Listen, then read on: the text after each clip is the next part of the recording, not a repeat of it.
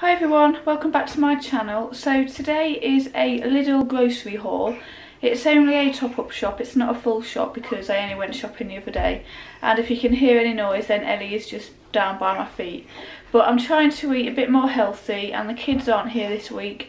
David's away with work as usual so it's literally just me and Ellie. It's okay.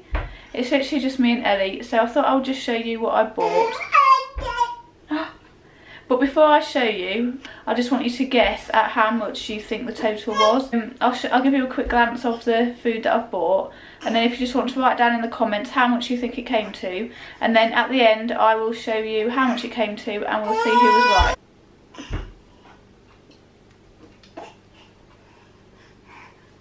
So pop your guesses down below and let's see who's closest to the right amount at the end.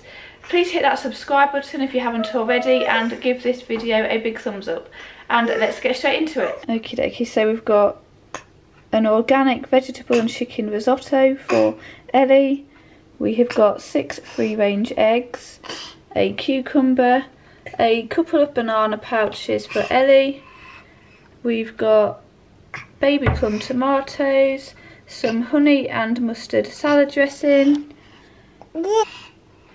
I've got a fat-free smooth toffee yoghurt, a tin of tuna in brine, grabbing all the food, a raspberry and cranberry fat-free yoghurt, reduced fat hummus, another tin of food for Ellie, oh don't drop the eggs, we've got some sweet baby leaf salad, golden vegetable rice, some butter, some light butter, packet of bananas, a red pepper, a little pot of fruit mix, a lime, cat food, some sweet potato piggies, some kids yogurts, more cat food, another little organic pasta bolognese for Ellie, more cat food, we've got two chicken breast fillet, some baby wipes, some crunchy mix um, turkey cat biscuits.